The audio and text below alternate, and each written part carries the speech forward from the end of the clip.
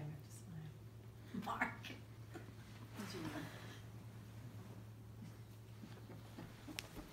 Oh my heavens, she took a picture of us.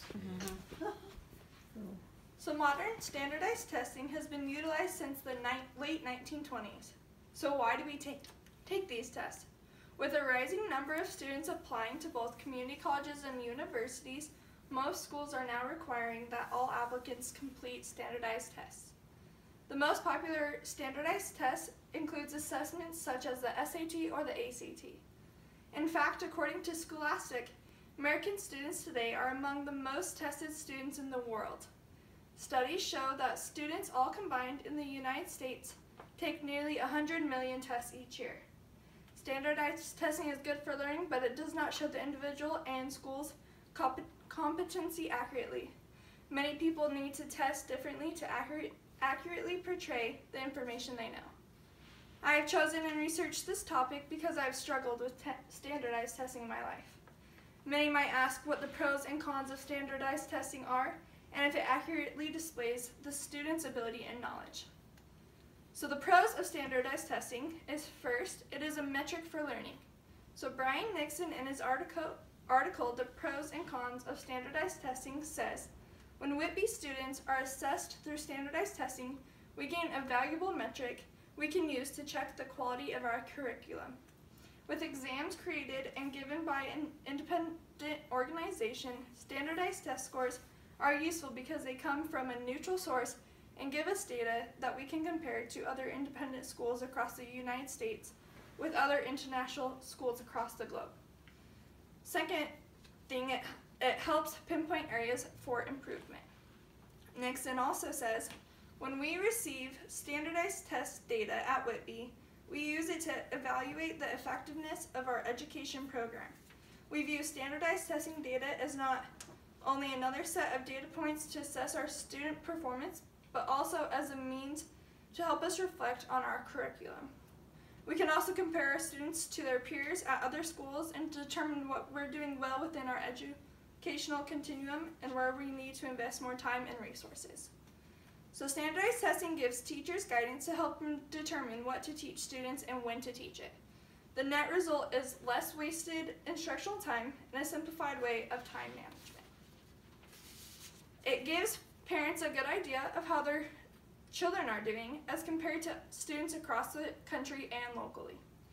This can also indicate how your local area is doing compared against the national landscape. It also allows students progress to be tracked over the years. When students take the same type of test yearly that is adju- adjusted for the grade level they are in, it is easy to see if a student is improving, losing ground academically, or staying about the same. So some cons of standardized testing. So test scores can impact confidence. A big disadvantage of standardized testing is that easy to interpret students' score as a sole judgment of that student's ability. They are constantly emphasizing at Whitby that the number is only one point of data with an array of inter- internal assessments across many subject areas that provide us with the information on a student's learning progress. There are many cases where students have demonstrated clear understanding within a subject or concept through various assessment but aren't as skilled at taking multiple choice tests. Nevertheless, it can be hard on a student if they feel that they didn't perform as well as they'd like. There's also pressure to teach to the test. When standardized testing beca- become all important in a school or district, it has a massive impact on teaching and learning.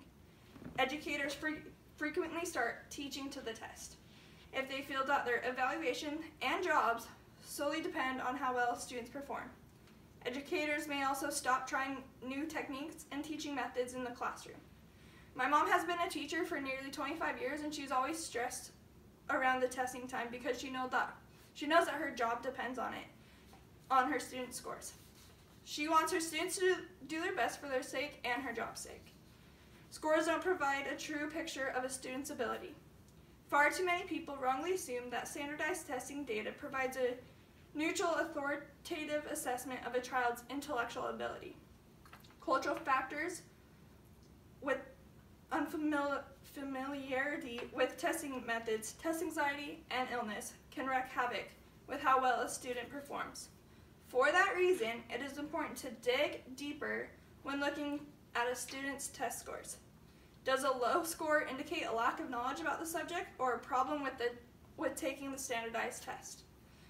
For example, an excellent writer could struggle with picking out the right answer in a multiple choice grammar and punctuation test, yet th- that same student could excel at composing well thought out logical e- essays about the literature, literature they read and enjoyed in class. So, the history of standardized testing um, the Room 241 team says standardized tests has been around for a long time with a history of evaluating university prospects, job candidates, and other forms of aptitude, aptitude and intelligence. Starting in Imperial China, standardized testing used to be used in a rudimentary form to determine one's eligibility for positions in the government of the ruling class. In the early 20th century, Alfred Binet developed the Stanford Binet intelligence test, which is now the IQ test. Throughout World War I, the military used Army mental tests to determine the best positions for new, new recruits. And in 1936, IBM developed a system of automating test scores by scanning bubble in answers. The SAT that we know today was first introduced in 1926 by the College Board. It contained 315 questions covering areas like vocabulary and math proficiency, fairly sim- similar to what modern students have to do today. The No Child Left Behind Act and the Common Core State Standards Initiative, passed in the last couple of decades, are prominent examples of test based accountability policies. So, there are some arguments for and against standard testing practices. So, some arguments against it is teaching to the test, like we talked about. With so many writing, with so much writing on the results, teachers often feel compelled to teach the test. In some schools, less time is being spent on the sciences, social studies, and the arts to prepare students to take the test in reading, math, and writing. Some ob- observers have found that teaching informed, informed by the test focuses the curriculum on essential content and skills. Eliminates activities that don't produce learning gains and motivates teachers and students to exert more effort. So, standardized tests feature multiple choice or open ended questions. Some tests combine both. Because answers are scored by machine, multiple choice generally have a high re- real, real, yeah. Open ended questions ask students to write a short answer or an extended response.